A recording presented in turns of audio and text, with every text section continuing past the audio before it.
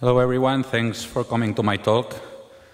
And even if it was not in the app, so I guess it was a bit challenging for you to know what was going on here.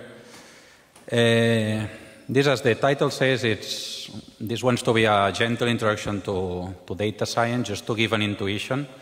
There are some formulas, some stuff, so I'm not sure how gentle is this being gentle. The goal is not that you really understand everything on that or really all the concepts. It's more to get an intuition or first where data science come from or where artificial intelligence come from, that it's quite related, it's, it's my area.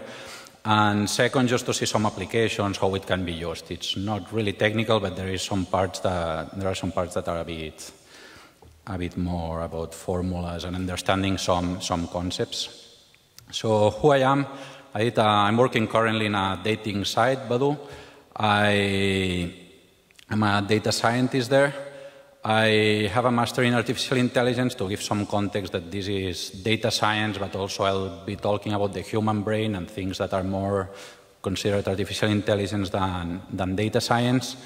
I'm also the NumFocus ambassador here at EuroPython. NumFocus is a foundation that is sponsoring many of the PyData projects or all the PyData projects, even the PyData brand is a, is a NumFocus thing. NumFocus is also organizing the PyData events.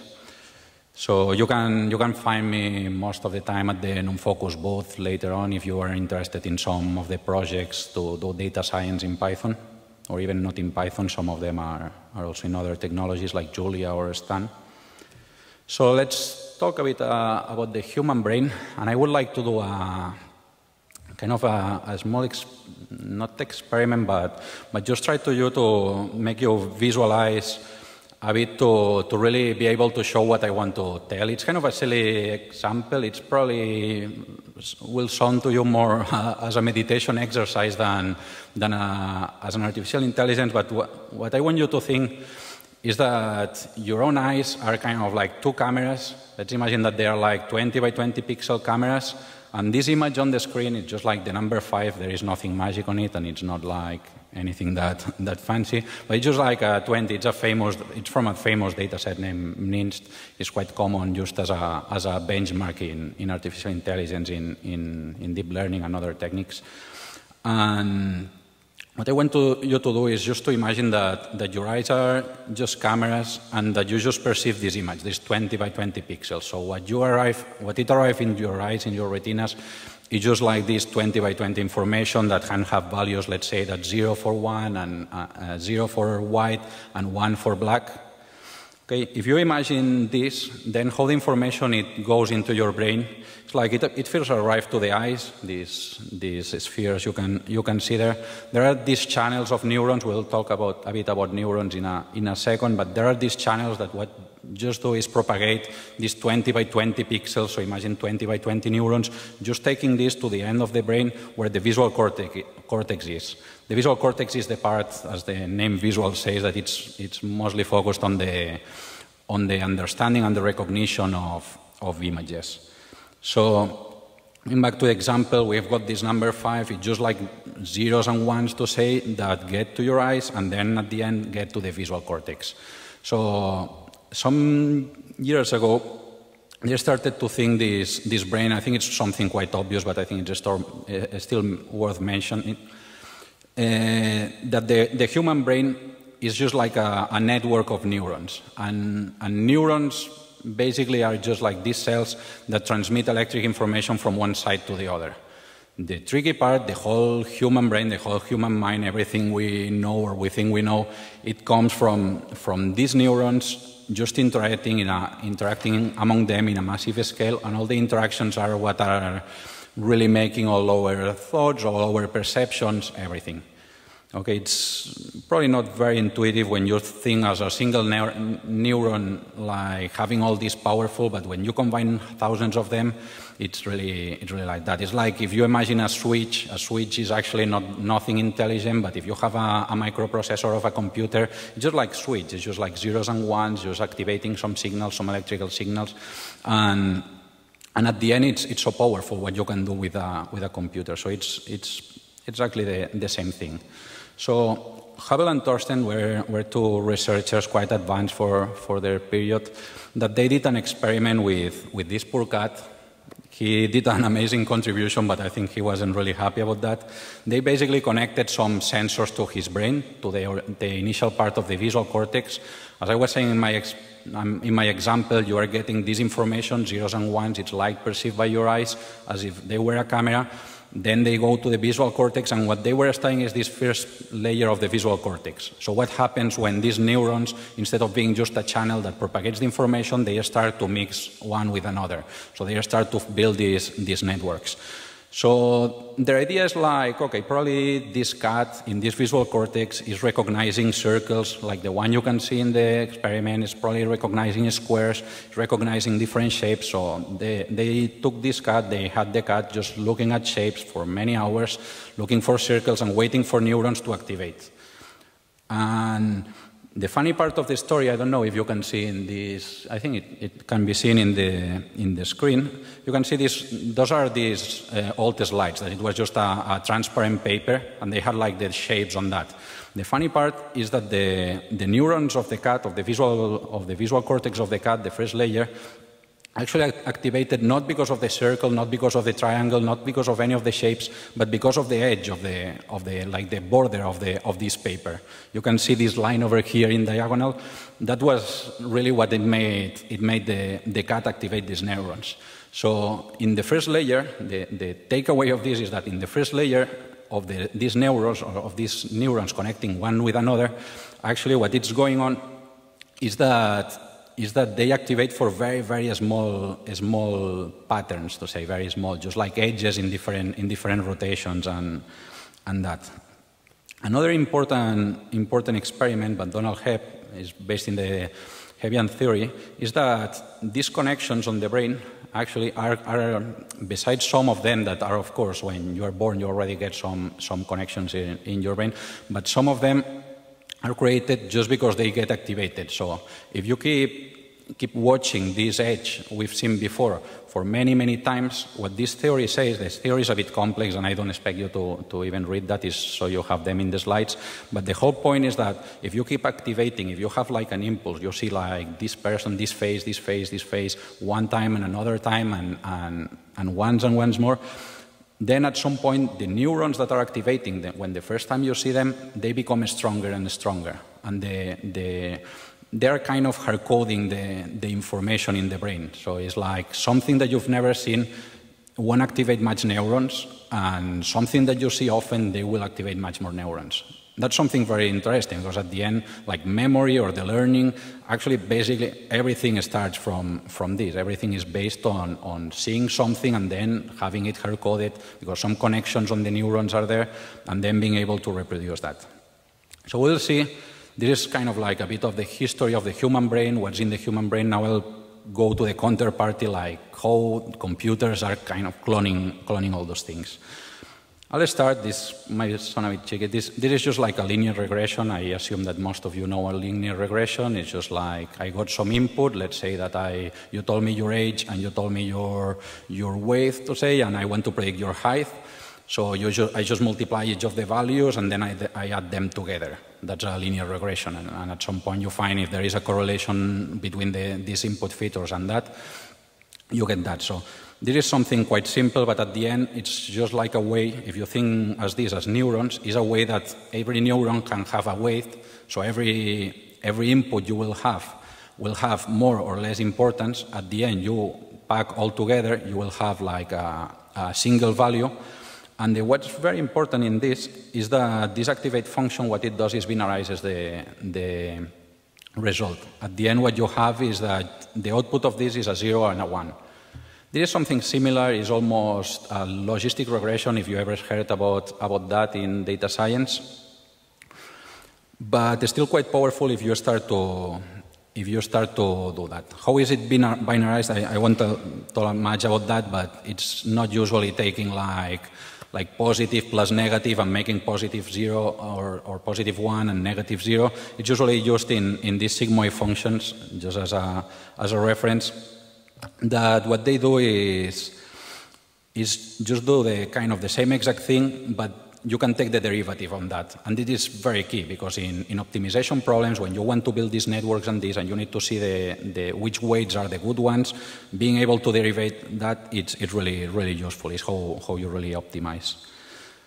I'm going to talk about Hopfield networks. I'm going to cover this briefly. Hopfield networks are just mm, like networks of these artificial neurons that everything is connected with everything.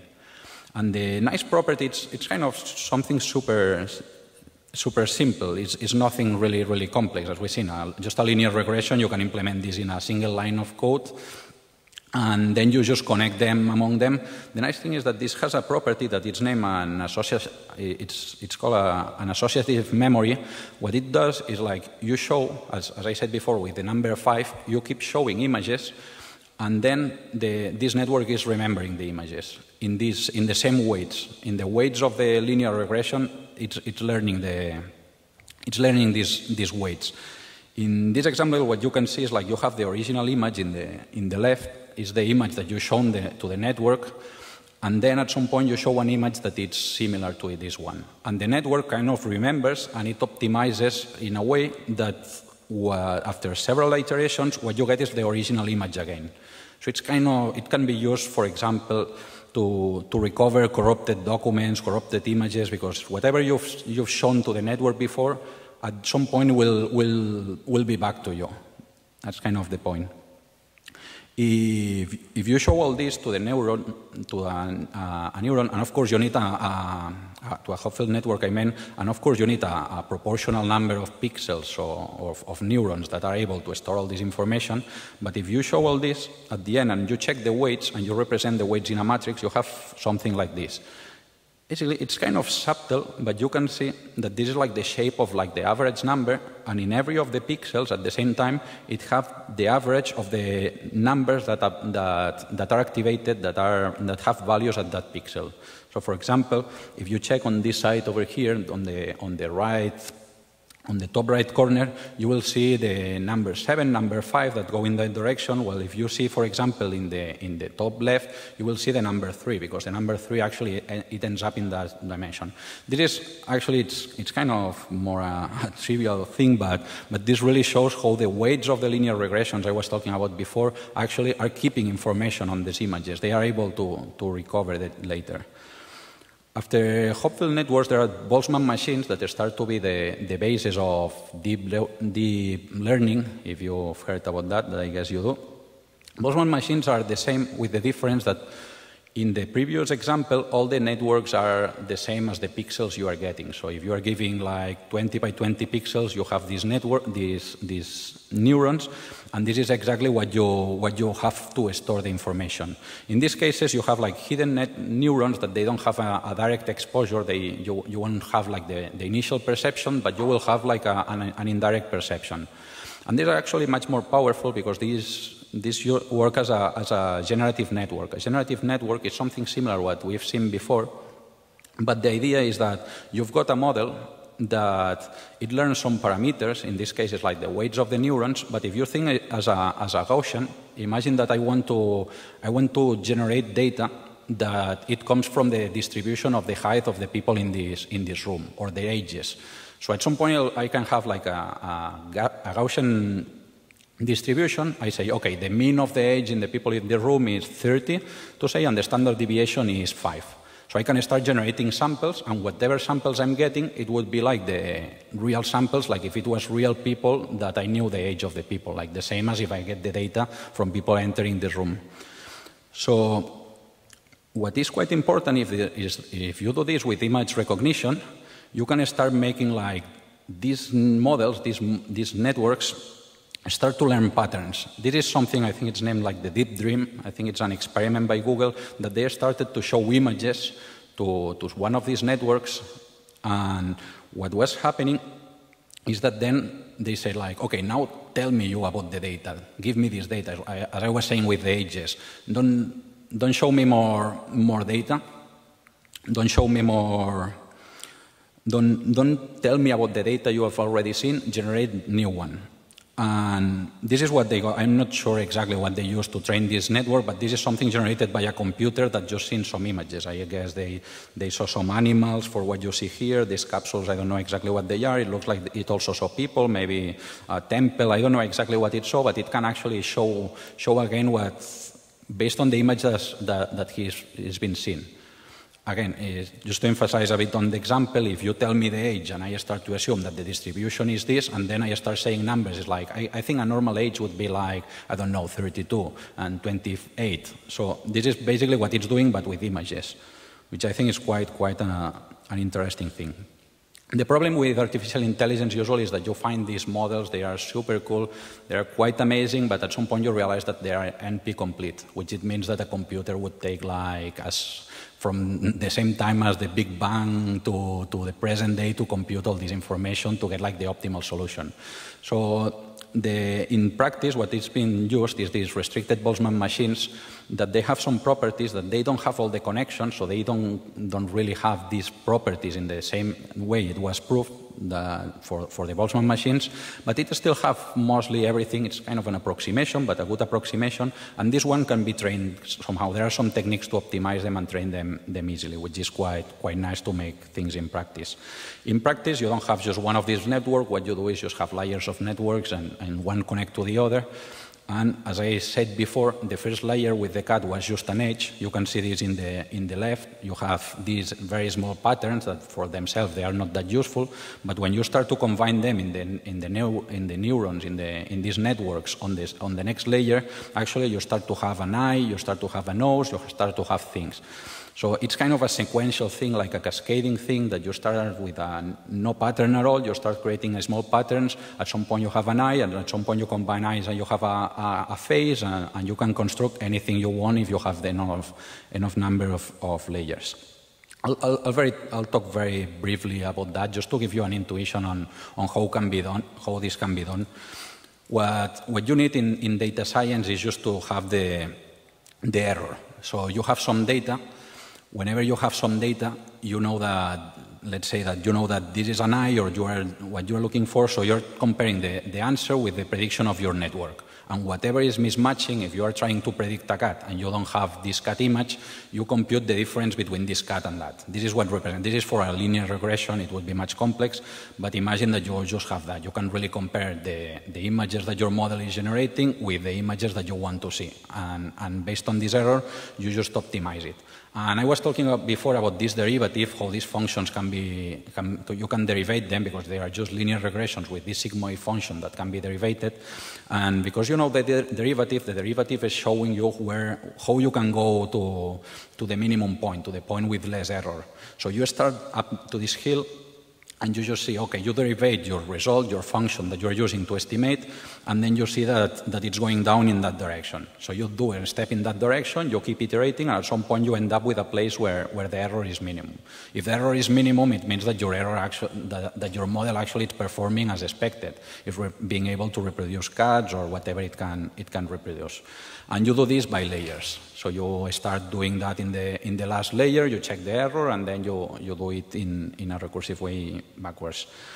This is actually from a Google experiment. They took, I think it was 40,000 CPUs, and they trained these sort of neurons with YouTube videos, frames from YouTube videos for a whole weekend to see what was the, the, the internal representation that the, these models were learning. And what they found, or what they say they found, it's, it's this cat in one of the neurons. It's looked like it, it's what it learned. And it probably makes sense because in YouTube it's full of cats. So at the end, if you think on, on this whole thing, on how the brain is learning, the neurons are changing the transformations based on the information we see, you can see the brain as a thing that, that it's really the, just a set of patterns that have been learned, like these shapes that if you have children probably you can recognize. And at some point you have like these edges, these triangles, these faces, and you are only able to re really recognize whatever you've seen before. Your brain has been trained to, to understand certain patterns, and only these patterns are the one that you can really understand. And it's, it's exactly what, you, what your brain is doing in terms of, of recognition. This is a very interesting experiment what they did is like you have this, this picture from, from Van Gogh, the one in the middle in a small, and they trained a deep neural network with, with this information. That, that information, what, what it happened is that the neural network, it, it happened to, to really get a, a, representation of the world. The neurons were trained in a way that actually only could see Van Gogh pictures.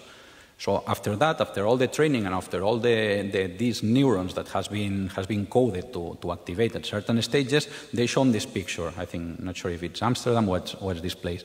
And whenever you ask it, tell me, show me this picture that I just shown you, because the, the model, the, the reality of the model, the internal representation of the model is just about Van Gogh. What it returns actually is the same exact picture, but just with the, with the pattern from Van Gogh. It's like the, the Van Gogh patterns. It's like there is no way it can paint a, like a red, a red ceiling, a red roof, because the, the neuron has never been trained for that. So I think it's, it's really, really interesting how, how this works. Now, I just wanted to give like an intuition on why or what can be achieved or what's the direction of, of this whole world of artificial intelligence and, and what's like the top trending. But I, I want now want now to talk more about like practical applications, what's really being done as a, as a data scientist in a day-to-day -day job. The first one is classification. I would say it's the most common one, some, something usually named as supervised learning that you have some data. I work for this dating site, Badoo. We have many problems with the spammers, people trying to abuse the system, people trying to cheat on, on our users and that. And we need to, to detect them and block them. We need to block like, like some accounts. So at some point, as a data scientist, you get a data set where many people reviewed profiles and they said, this is a spammer, this is not a spammer, this is a spammer, this is not a spammer. And you have certain information.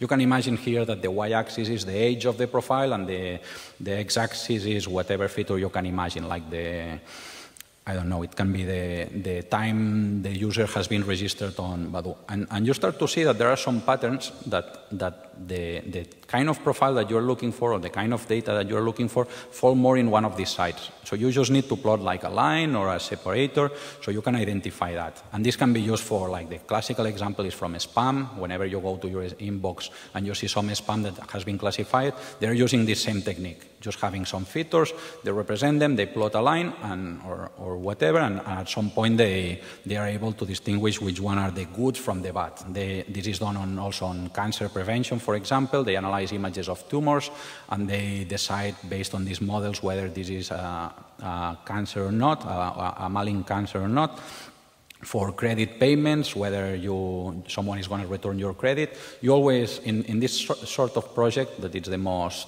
used one and the easier to start, I would say, what you need is someone who really labeled or, or in some way that you get labels to the data. You know that certain users didn't pay, that certain things like that and, and, what you do is just try to replicate the same decisions that were, be, were being made, you, you, start to replicate it in the same way.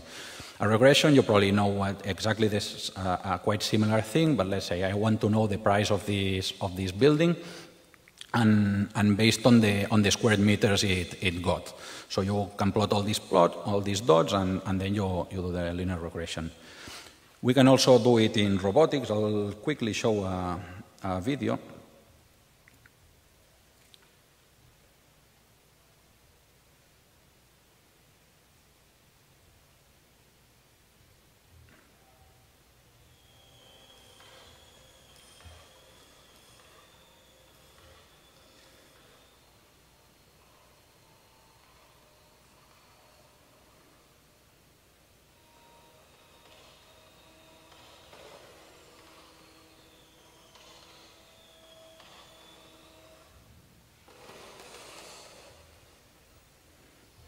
Okay, you, have got an idea. This is like the state of the art in robotics. It's a, a, different technique. It's usually named reinforcement learning, that it's a way that, that the robot keeps learning based on experience. So the robot, it usually, at the beginning of the, on the training stage, it keeps falling. And then even if you kick it, it, it doesn't fall. It wouldn't surprise me. Uh, I think the, one of the concerns in artificial intelligence is whether, whether robots are going to control and make their slaves at some point. I think it will make sense after seeing how they treat this, this poor robot. Uh, but yeah, more, more application recommendation systems. Whenever you go to Amazon, they are using all these data science, artificial techniques to see what one customer bought. Actually, it's the same that, that everybody else who is buying this product is buying. So you find these patterns on this association. Then clustering is, a, is similar to what I was saying, mentioning before about classification, but in this case, the, the whole point is that you don't know the labels. You know that you have two different types of users. I'll, I'll talk about dating sites again. Let's say that I have the users who are interested mostly in sex and the users that are interested mostly in sex, but in a more subtle way. Okay, and we really want to, to identify them, but I don't have labels. I, nobody is going to just review them and say, okay, we have this. So you have these techniques to train models, and these models at the end are able to really split the, the data by itself on finding the distance between different groups, saying, okay, there is this group that is quite similar, but at the same time, uh, another group that is quite similar among them, but they are very different groups. So it's, it's about finding these patterns. Network analysis is quite another interesting topic. They are able to predict, for example, some some problems with sicknesses like, like the flu. I think it was like the so, some of the variants of the flu that they started to detect based on the network of flight connections when it was going to start the first cases in every single country, and they are predicting that with, with great accuracy. Also for the banking system, they check like the transactions among banks, and they say, okay, if this bank is defaulting, this other bank is, is going to default because they make so much transactions together. Image recognition, it's quite challenging topics in many cases. In this case, the idea is distinguish, I think this is a Chihuahua, I'm not sure which kind of dog, and there is muffins.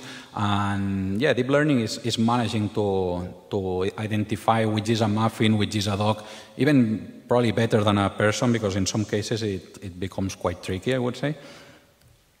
Also, self-driving cars is like the, the state of the art. Probably you've heard about them. They are already in, in the stage in several places. They are already driving autonomously. They have these cameras, these sensors, and they are they're really being able to even in cities stop when there is a pedestrian who wants to cross and all that.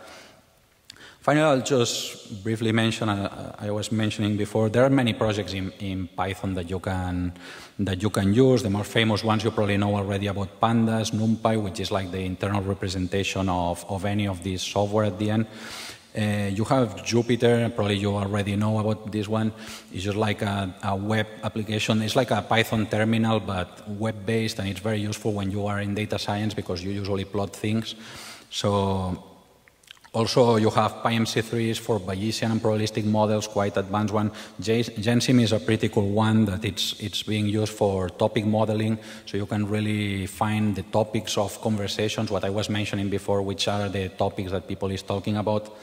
So that's it. I'm just a, a quick mention. We're thinking on organizing something related to, to data on, on Saturday. Probably it would be partly a pandas sprint, so people who wants to contribute to pandas. But if people is new to pandas or new to data science, we can also do a tutorial and, and things like that. So please get in touch with me if you're interested. I'll be around on, on Saturday just, just in case anyone wants to contribute to, to these projects or, or just get a tutorial or discuss about that.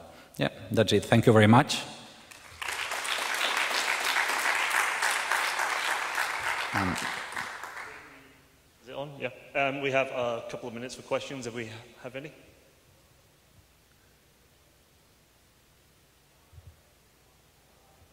I guess no one really understood anything, and it wasn't as gentle as I pretended. Right. We can maybe get you both in if you're quick. Hi. I don't know if my question is really related to mostly on computers, but on the other side of human brain.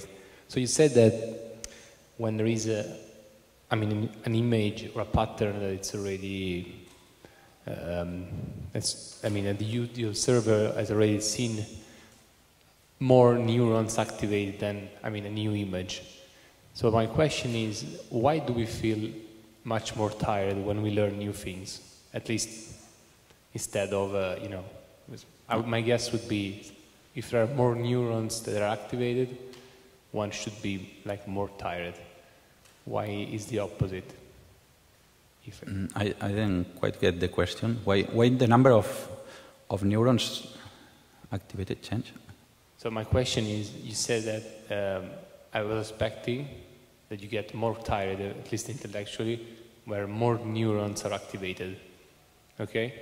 But if I can, I mean, I would guess at the same time that when I'm learning new things, I get much more tired.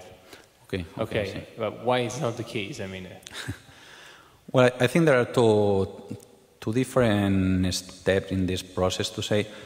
One is about training. I would say that when you feel tired is because if you are seeing something new, you go to your new day at job and that, of course, you feel much more tired because everything is new, so your neurons are actually kind of training in this training stage. So all the connections need to be activated, uh, need to be created. So you have new connections that some neurons that are not connected among them, and they are gonna get getting the act activated for the first time. So I would say it's related to that. And then when you are doing something repetitive, it's like just your your your neurons are just uh, already being activated, the ones you, you are using. So it's just like the information just flows. I'm, I'm not uh, a neuroscientist. I think it's kind of a, a, question for more for a neuroscientist, but, but yeah, I think that would be probably the reason. And I have another, another question. Uh, do you use any other languages than Python, like machine learning, like the language is designed for machine learning, like Prolog or something? I think all the I, I, don't use much other languages in than Python actually. I think everybody is like using C in the, because NumPy is mostly programming C. There is also Cython that it's quite the standard for, for all those things. So I would say that I would use pandas. I, I use I would use something that is not Python for for in terms of performance because for coding actually I, I love Python so I would never really like to, to have to use another language. In some cases, there is, for example, TensorFlow, Theano, all these things. Some of them, I think Theano it's, it's partly writing in Python, but, but TensorFlow it's not. But usually you have bindings. At the end, I think Python is very good with the interaction with the user, with the programmer. I think it's the most beautiful code you can read is in Python more than in C or anything else. So yeah, I think it's like the, the trend is, is moving there. You have Stan, for example, for probabilistic programming. You have R that is quite good and quite quite used in, in, in this world, but in my case, I, am not using anything else, and I think you can really do a lot of data science just with Python. That's great, thanks. Um, that's all the time we have for this talk, so uh, thanks again.